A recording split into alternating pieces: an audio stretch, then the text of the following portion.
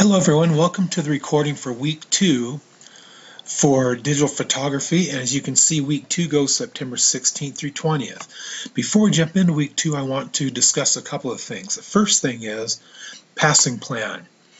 I've created a passing plan that will help you pass the class doing minimal work. Now, as I say here, I want all students to get high grades, but I know some of you just want to earn a passing grade. Well, this passing plan is how you can do it. And if you click on this, it'll take you to the doc share area, and the passing plan is loaded, uh, located there. And what I've done in that passing plan, I've taken some of the coursework, and I've showed what coursework you could do, the minimal coursework to get a low D. I think it ends up being like 595 points or something. So it requires you to get 100% on assignments like write-ups, learning plan, finishing plan. Those are easy 100%. And then maybe get like 70% on the big 100 points assignments or the larger assignments. Then you can even skip some work. So take a look at that passing plan. Again, it's in the doc share area. And there's digital photo passing plan. I'll go ahead and, and open it up so, you, so we'll take a look at it.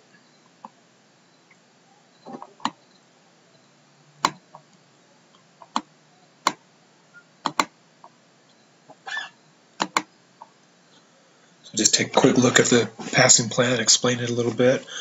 So you can see that what I've done here is taken all the assignments and all the points possible for them, and I've put some suggested points, and all of this adds up to 595. So you see that you like you should get 20 out of 20 on the write-up, learning plan 25 out of 25. I've taken into account that maybe you wouldn't get 100% on the unit exam. So you can see that on some of these you're not getting 100%. Even if you do better on some of these, then you don't have to turn in so much work. But I just wanted to line this out for you just to give you hopes of passing the class with doing minimal work. Now the other thing that I would do if I were you, if it gets down towards the end and you're really tight on points, you can always go in and do the um, the unit exams and just try to get as many points as you can, even if you haven't covered the information. But don't do that yet. Do that as a last resort. Ideally, you would do work and earn your points, right? So I'll close that. But the idea with that passing plan is that it can uh, help you if you're struggling, if all you want to do is pass the class. Say that for you. Submitting work properly. Here's a video, five minute video that will show you how to zip the assignments, how to zip your folder to submit work. If you don't submit properly, I'm not going to grade it. I'll just turn it back to you and say, please submit properly. So please watch this five minute video and that'll help you tremendously. A reminder, assignment directions. I'm going to post some directions in this announcement for assignments that I need, think students need um, additional clarification on. So always go to that before you send me an email about not understanding an assignment. Go watch the, the assignment recordings first. Uh, proper file and folder names, I've talked about that before. So just read through this. Make sure you, you name things properly, proper folders and things. All right, so week two. Week two, we're getting into the using your digital camera unit, and in this week, you're going to take your first few pictures and submit them. So, of course, you'll watch the recording. You're doing that now. You'll complete the write-up. And one thing about this, some students are having trouble watching the recording and doing the write-up at the same time. When you're watching the recording, you can hit the pause button and then go type in the answer in the write-up. So think about pausing and then doing the, the writing. And then I also have a, a, reminder here, go watch the submitting work video that I have. I just showed you that a minute ago. So in this unit, three sections for the beginning of the week, and then three sections for the end, as well as doing your photographs. Now, to be honest with you, for the work for this week, if we think about it, watching this recording and the Class Connect write-up, this might take you a half an hour. This five-minute uh, recording take you five minutes, right? Now going through these sections, I mean, I'm going to go through these sections right now. So these are the sections we're going to cover. Then you take some pictures of your house, and then you have a unit exam. This week is probably no more than uh, three hours of work at the most. So pretty easy, isn't it? And I'll get uh, week three stuff posted, you can get, get a jump on that if you want to. So week two is just going to be one unit. From here on out, though, week three, week four, week five, those are each going to be two units. So you're going to have a little bit more work to do. So again, in this week, your first photo assignment, you're going to shoot some pictures around your house. And then you have a unit exam, and as always, make sure you use the exam preview, and there's the exam preview right here on the left. So you'll find the answers to the exam preview from the lesson, lesson. Then you go do the exam. All right, I'm going to, uh, that's act how it all works. Here's the, the, using your digital camera, sorry, using your digital camera unit. So uh, there's the using your digital camera exam preview right here. So that's week two. Now let's go ahead and jump into it. Let's look at the write-up first, as we always do, because I want to help you with the answers. So why do you have to adjust for parallax? What are the three types of viewfinders? And I want you to choose either portrait or landscape, give a specific example of when one would be better than the other to use. So let's jump into section two. So handling the digital camera. Now it's important, like it says right here, it might be pretty obvious how you handle a camera, but as this says, more photographs are ruined because the camera wasn't held, held properly. The photographer, what they're seeing in the viewfinder, they misinterpreted. So a little bit of practice and work on that now can really help you out. So the three things look at, describe the different types of viewfinders, apply image orientation to the subject, and learn how to hold the camera to be stable. Now, we look into the viewfinder, that's the little hole in the back of your camera. You look into that, and your viewfinder gives you a smaller frame, or the, the camera actually takes a smaller picture than what your frame actually shows. So your viewfinder would show you this whole rectangle, but then your picture frame actually ends up being smaller. So you have to think about that a little bit. And the other thing about the viewfinders is that when you look in them, they're offset a little bit, and we'll see a picture about that in a minute. So you really want to be careful. So what they're saying here is that when you're looking through your viewfinder, your viewfinder gives you this big, the rectangle here. What you really want to do is think of a box inside that viewfinder, and that's really the safe area for your picture. So don't always think of your picture taking the whole size of the viewfinder. Picture your safe area to get the best image is going to be within something smaller than the viewfinder. There's something called parallax on cameras. And if you look at your digital camera, you're looking at the back of your digital camera and it looks right through this viewfinder. Well, this viewfinder is in the top left edge of the camera, right? But the camera takes a picture out of the lens. So you might see from this top part, you might see the top part of this person's body, but the camera lens actually sees this part. So you really have, that's called parallax, the offset. The offset of the viewfinder compared to the lens is called parallax. So the reason you have to adjust for that and the answer is to that write-up question, you have to adjust for that because the viewfinder sees something different than the lens sees. That's the reason you have to adjust for parallax. So what you have to do, it says like moving the subject down a little and to the right could help correct it. So you can experiment with your camera. And certainly that depends on where your viewfinder is on your camera. Now, I'm, I'm looking at my, my cell phone and you know, when I look at my cell phone, that's a little bit different when you're looking at digital viewfinders. This is when you're looking at optical viewfinders. But digital viewfinders, sometimes those give you the exact shot. Now the other thing about this, parallax gets worse as you get closer to the subject. So if you're three feet away, you need to make some adjustments for the parallax. More about viewfinders. Oh, and actually need to go back here a little bit.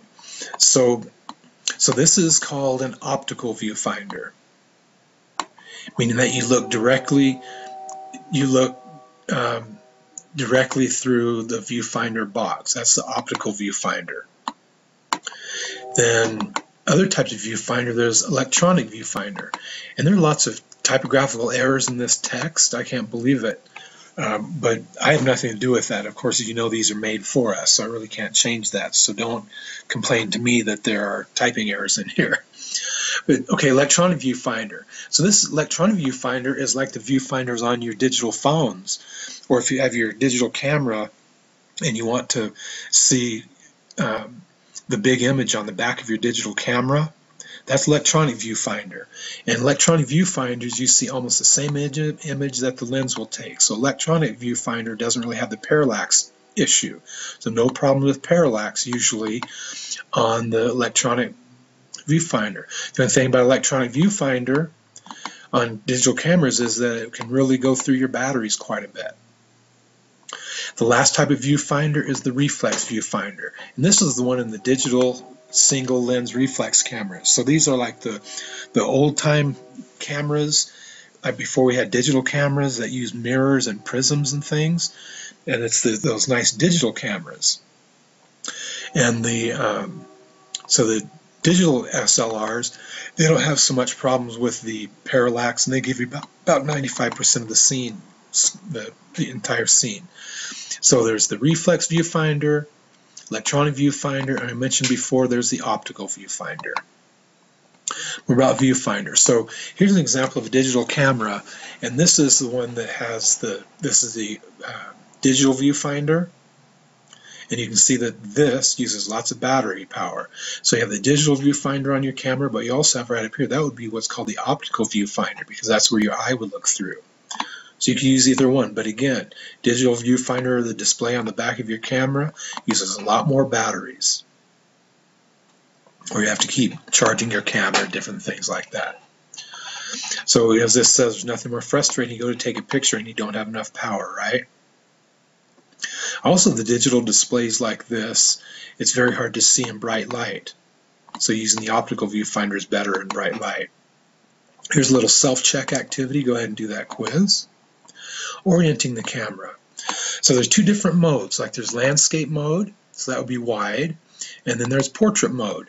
And also, like if you think, most of you have experience with printers and they say print in landscape or portrait, or like in word processing, landscape or portrait. So um, what you want to do is um, determine which mode you want to use. So Landscape mode is if your image is wider than taller. Portrait mode is if your image is taller than wider. Now those aren't really specific ideas, but if you think down, if you look down here, people are standing up or even are sitting, if they're taller than they are wide, then you need to you know, hold it in portrait mode. Cars are wider than they are tall, so cars you might take in landscape mode. A house is usually wider than it is tall, so something's wider than it's tall, then that's going to be the landscape mode. Something's taller than wide. So if you want to take a picture of a um, like somebody going up for a dunk on a basketball hoop, that's going to probably be taller, right? So then that would be portrait mode. So that Class Connect write-up question, I want you to give me choose either portrait or landscape and give me a specific example of when when one might be used over the other. Holding the camera, it seems a bit simple on the surface, but you want to give your camera a firm base. So stand with your feet about shoulder width apart, so nice broad stance. Elbows tucked into your side, so you can see how this lady's elbows are tucked in. That gives more balance, and you're not going to be moving the camera. It's not going to be bouncing around. Sometimes I even touch my elbows to my sides when I hold the camera.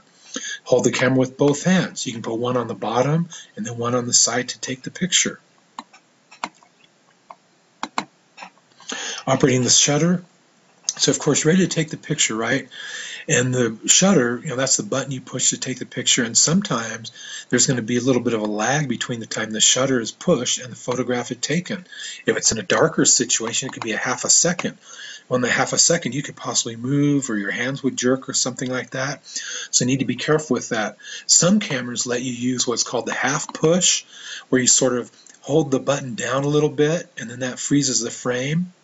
Then when you're ready to take the picture, then you hit click and it goes a little bit faster for you. But you really need to be careful with pushing that shutter button that you don't move your camera. So that's why people use tripods in darker situations because the shutter is going to stay open a little bit longer. So the tripod will steady the camera. Opening the shutter, you want to be very smooth when you push the shutter in. Don't stab or poke at it.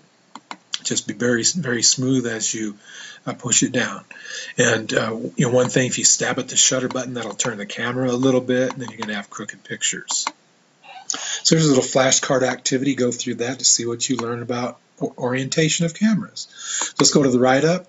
We answered all these questions. I do want to make sure that on this one, you're going to choose either portrait or landscape and give a specific example of when it would be better than the other. Okay, section three. Um, what is the key to taking good photographs? Explain what program mode is for pictures. Compare overexposure to underexposure. Give an example of adjusting for negative or positive exposure. So digital cameras, so they've come a long way um, you know, there you have much more advanced control of light exposure with the sensors and things like that. So really, um, the key to taking a good photograph is judging the exposure. So being able to judge the exposure of an image, that's the key to taking a good photograph. So that's the answer to that Class Connect write-up question. Being able to judge the exposure of an image is the key to good, good pictures. So in this section, we're going to look at what makes a good exposure, describe exposure settings uh, for images, explain what compensation is on exposure, and how to uh, apply compensation exposure. So most digital cameras give you a choice when exposing your photographs. Remember, exposing, expo exposing means how much light is reflected into the sensor in the camera. So a lot of cameras you can you can adjust the exposure yourself, but some of the more modern cameras, they can look at different areas in the image and they can determine how to set the exposure and the shutter speed and things like that. That's called program mode. So program mode is essentially the automatic mode where the camera examines the image and sets the aperture and the shutter. So that's what program mode is. When they set when the camera sets it for you, does it automatically and more about exposure. So take a look at this. Look at all the great great uh, details here. Look how that how sharp the edges of that shadow is, and how sharp you can still see the edge of this building against the shadow on the other building. You can even see this close-up corner of this building with a little bit of shadow. So this one is really exposed very nicely, although it does get washed out in the back a little bit. But I can still see all three of those buildings really clearly. I can see some nice shadows around the window. So you know, there are lots of things to think about when taking pictures. Make sure the shadows have detail, the lines of the edges of the shadows. Light areas need to have some detail. Colors need to look natural and real, right? And the color shouldn't, or, uh, there shouldn't be color cast over the image. So some, so you really need to be careful when you take your pictures. And of course, some software can help you adjust some of the pictures. It's a little bit more on digital exposure. So there's overexposure and underexposure. So overexposure is when there's too much light strikes the sensor. It might be if you're shooting into sunlight. And then underexposure is when there's not enough light. So to compare those two, that's what you would put. Overexposure is when there's too much light, and underexposure is when there's not enough light. That's the comparison of those two. So the, probably the biggest problem people have is with overexposure because they don't they, they shoot in, in too much light or more directly into the light, and then things get washed out with too much white in them. Here's a little bit on uh, camera exposure, so do a little crossword there. Exposure compensation. So program mode, that helps. You can solve most of your problems for you because it really examines what the image is going to look like. But there's also something called exposure compensation. This means where you can actually adjust your your picture yourself, the comp, the exposure. So positive compensation, you will increase the exposure to let more light in. Negative, you will decrease the exposure.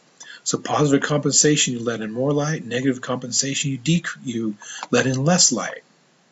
And here are some examples. So if you're taking a picture of your friends on a sunny day, you don't want them squinting into the sun, right? So you um, turn them around so the sun is at their back. Well, now the sun is in your camera lens. So you want to change the, the uh, exposure. You want to do the positive exposure so it's going to let in less light. Another example, if you bought a car and you want to take a picture of it to send via email, the car is white and it's overexposed because of the sun. Well, then you would do some negative exposure. So that would make it a little bit more uh, darker and you could uh, see all the detail. So those are a couple of examples of how positive exposure and negative exposure can be used. Here's a little quiz. Go ahead and take that quiz, see how well you can do on that. So let's go back to the write-up. So we answered these questions, right? Com compare overexposure to underexposure. So you're going to write those both down, what they both are. Example of adjusting for negative or positive. So you'll choose either the negative exposure or positive exposure, and you will give an example of one of those two things. And we just looked at two examples. Section 4, why would you change this folder name of digital images on your computer? So section 4 is all about moving your images. And some things, some people, they just keep the images on their memory card if you have a camera that has a memory card instead of putting it on the computer and clearing out the memory card. Then the card fills up, they go buy a new one. Well, if they lost their memory card, then they've lost all their pictures, right? So it'd be, and that really defeats the flexibility of digital photography. So it'd be great to transfer your pictures to your computer, moving your pictures. That's what we're going to look at now. So we're going to look at transferring from your camera to your computer, locating your transferred images. So moving your photos. Now, back in the old days, and still you might have one, there's a digital camera in its docking station. Then you would plug your computer into the docking station, and it would automatically transfer, transfer the pictures to your computer. And that was really nice. It was all done automatically for you uh, via USB cable and things like that. Now, a lot of you now, you might have a digital camera that has a cable and you just plug the cam cable directly from your camera to your digital uh, to your computer via you know kind of a USB or transfer cable. And that's really good too. And then you just take all those pictures, put them right on your computer. Perfect way to go about doing things. And then you can at least have them in two places, right, until you're ready to uh, erase the memory card. Then to, to transfer them, you know, here's a picture of a, a camera with a transfer cable going into the laptop. Now, the thing about it, a lot of times the transfer wizard will just put all the pictures in a folder. They call it file here, but it's really a folder called My Pictures. Well, that doesn't help you very much. So this start, starts talking about um, the uh, renaming the files and folders. So like this, you have a folder called Friends 6-08. So that means pictures of your friends back in June of 2008, right? So the reason you want to rename the folders on your computer for your pictures is so you know what the pictures are about. That's the reason you want to rename them.